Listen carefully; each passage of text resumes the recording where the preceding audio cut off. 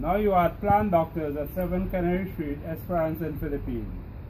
Here you are seeing our beautiful bougainvilleas and our croton.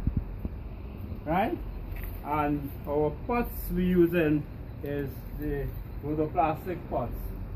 Here. So we have palms, crotons, bougainvilleas. These are some of the plants that we sell. Now, but what, what is more important here now, in my hand here is what they call a grow bag. This is a five gallon grow bag. Why I'm telling you this is that we, we fill this grow bag with a thing they call cocoa peat fiber soil. So this is, this is the cocoa peat block here. And this now is compa compacted and then we break it up and we fill some things into this. So it, to show you how we fill it, I just take this here, Fold on this bag,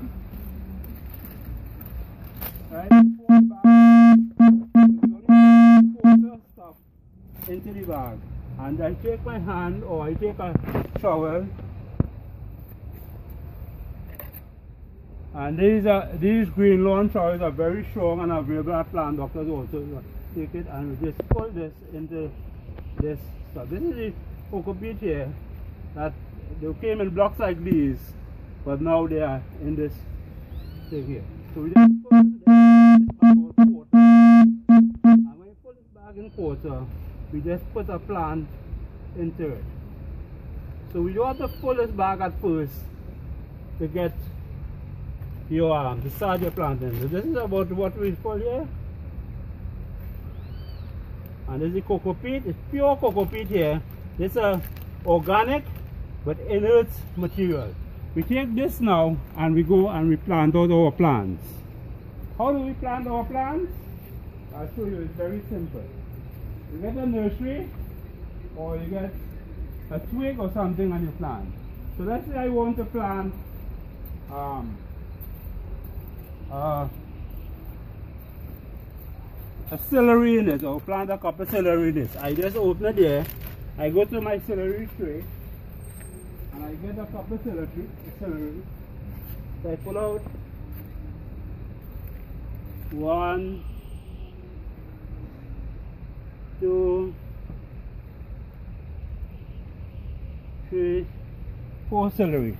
I come back to my bag and I just place the celery plants in the bags.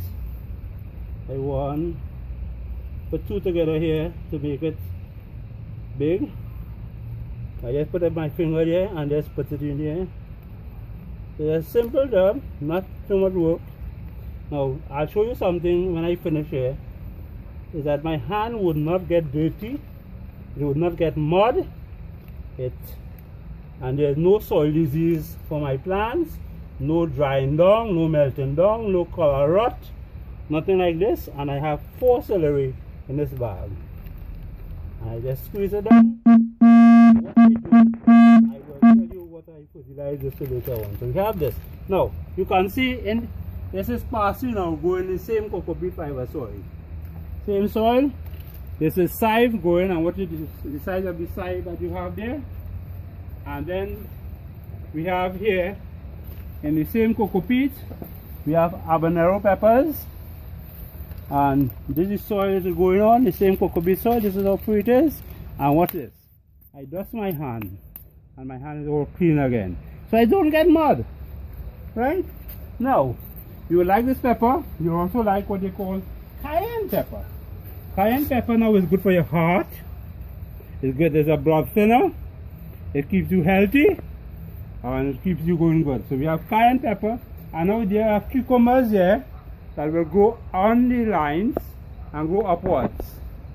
So you won't have a soup down to the cucumbers anymore. On the other side we just reap tomatoes and I put back four tomatoes in the bag. And down here we have pimentos. So you can see the amount of pimentos that are on the trees. And here I have some pimentos that you can see. Take a good look here. You can see the pimentos. Right? Now, what is amazing is this. And can you tell me what is this? This is ginger. And you know, in June, July, August, September, ginger prices are very high.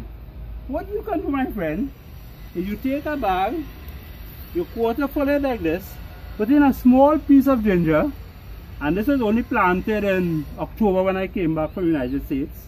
And this is the size of this now. And water this. And every shoot here gives you a piece of ginger. So the more the ginger grow, we take the same cocoa bean soil and we mold it up.